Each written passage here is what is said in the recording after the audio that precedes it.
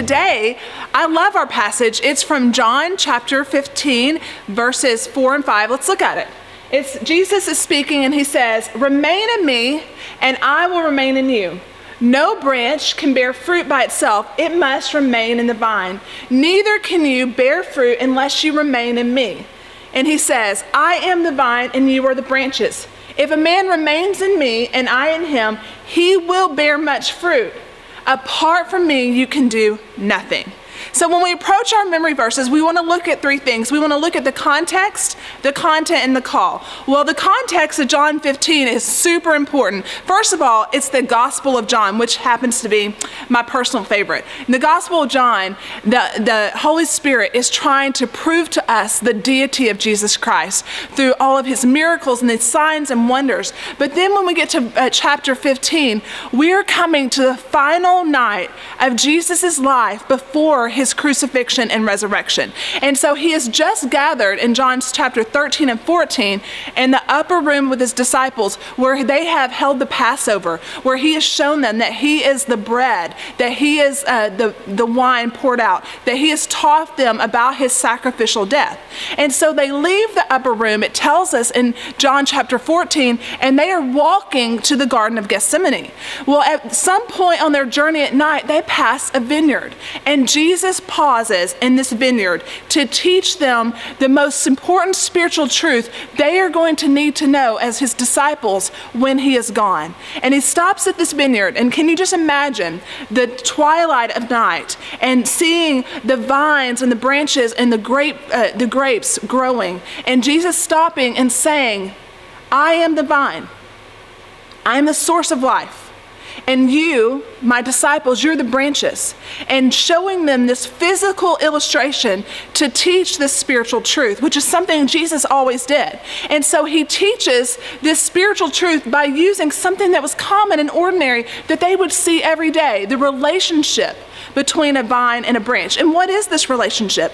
It's one of utter dependence, and that is our content. If you want to look at what Jesus is trying to show us, he's trying to show us that our relationship with him if we're going to have spiritual fruit, if we're going to be spiritually transformed, our relationship is one of 100% dependence. We can, apart from Him, do nothing.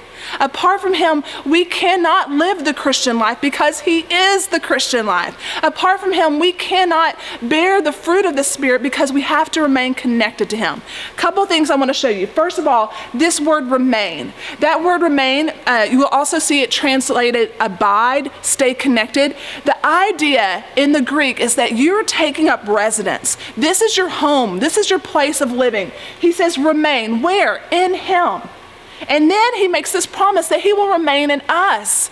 This is the covenant that we have with Christ, that he dwells in us by the Holy Spirit, and we are his. And then he goes on to say, the reason is you can't do this without me.